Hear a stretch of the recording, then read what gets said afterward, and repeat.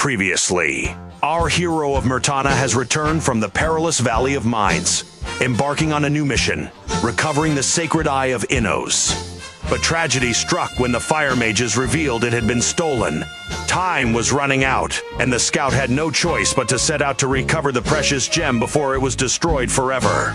In a desperate confrontation with the Seekers, our hero fought bravely, banishing the dark cultists to the afterlife. He discovered the eye resting on a pedestal, its brilliance all but gone, drained of nearly all its power.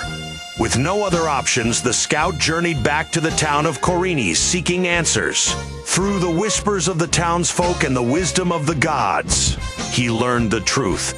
Only the union of divine power and the craftsmanship of a skilled blacksmith could restore the Eye of Innos to its former glory.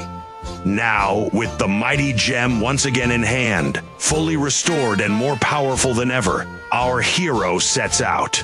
But this time, a greater challenge awaits the Dragons of Elements.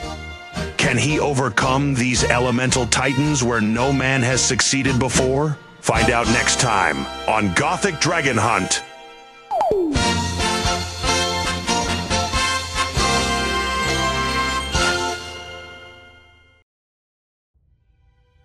This video was created in memory of Akira Toriyama, the creator of Dragon Ball.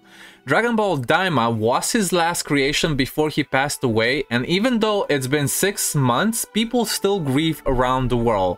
The master died, but his legacy lives on.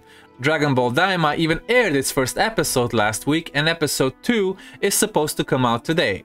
If you guys enjoyed the video, please subscribe to the channel and if there's enough likes and views on the video, I will make another mashup like this in the future.